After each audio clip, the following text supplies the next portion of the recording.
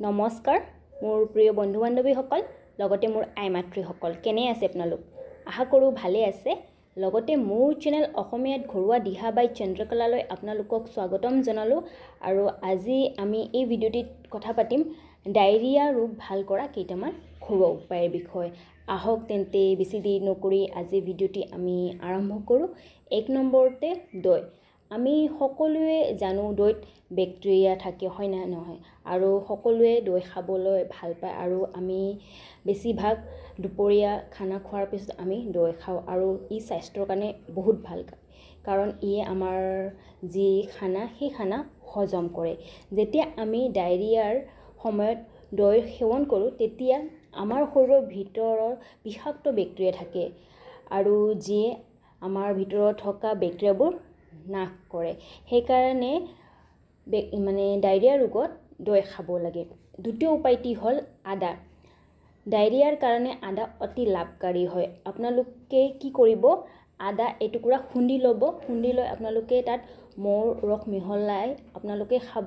তাৰ লগে লগে আপোনালোকে এগিলাচ পানী খাই দিব। এনেকুৱা যদি আপোনালোকে কৰে আপোনালোকৰ যি ডায়েৰিয়া সেই ৰোগটো আপোনালোকৰ ভাল হ'ব। তৃতীয় উপায়টি হ'ল মেথিৰ দানা।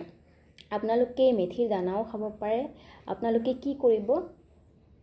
অলপমান আপোনালোকে মেথি দানা পানীত জিকাই থৈ দিব। তাৰপিছত আপোনালোকে কমে এঘণ্টাৰ পিছত সেই পানী আৰু আপোনালোকে মেথি দানা খাই দিব।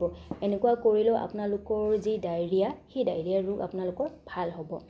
চতুৰ্থ উপায়টি হ'ল এপল চাইডাৰ ভিনেগাৰ। আপোনালোকৰ যদি ডায়েৰিয়া ৰোগ হয় তেন্তে আপোনালোকে এপল চাইডাৰ ভিনেগাৰো ব্যৱহাৰ কৰিব পাৰে। আপোনালোকে কি কৰিব? এগিলাচ পানী এক চামুচ এপল চাইডাৰ ভিনেগাৰ মিহলাই আপোনালোকে খাই দিব। এনেকুৱা কৰিলে আপোনালোকৰ ডায়েৰিয়া ভাল হ'ব। পঞ্চম উপায়টি হ'ল কল।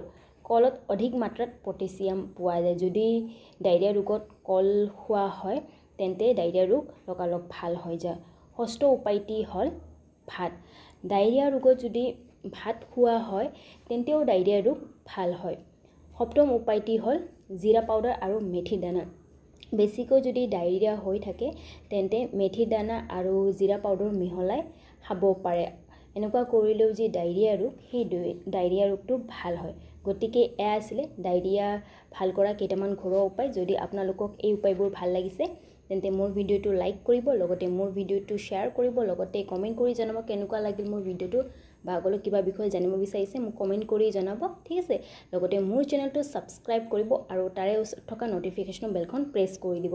কাৰণ আপোনালোকে যদি ন'টিফিকেশ্যনৰ বেলখন প্ৰেছ কৰে তেন্তে মই যেতিয়াও যিকোনো ভিডিঅ' আপলোড কৰিলে আপোনালোকে প্ৰথমতে ন'টিফিকেশ্যন পাই যাব। ধন্যবাদ।